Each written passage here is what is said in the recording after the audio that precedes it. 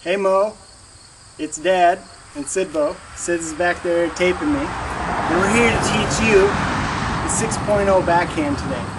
Right now you and Sydney both have the 4045 backhand. And what we're going to do is show you the difference and have you look at it so you can look at it on the tape over and over again and go out there and practice it since you have all the time you need. Okay, the normal 4-5 backhand starts off with the racket head down and back, just like this. And then you normally come out and hit it out here, and you finish, and it hits the center of your back. That's typically what everybody's taught from the beginning and what you've known for a long time. It works out great behind the baseline, and it works out great when you want to hit hard and flat. The better backhand, which is a little bit higher level, allows you to take the ball later, hit more spin, and make fewer errors because of the increased spin. That backhand starts with it straight up in the air, absolutely straight up in the air. Right before contact, you drop the head and hit up on the ball and finish out in front.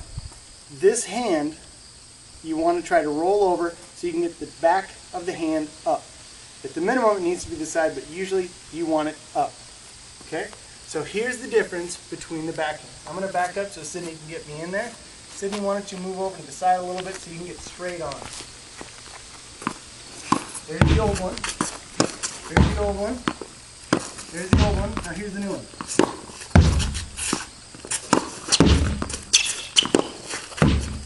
Up. Drop it.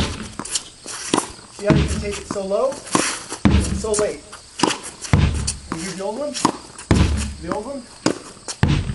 And stop.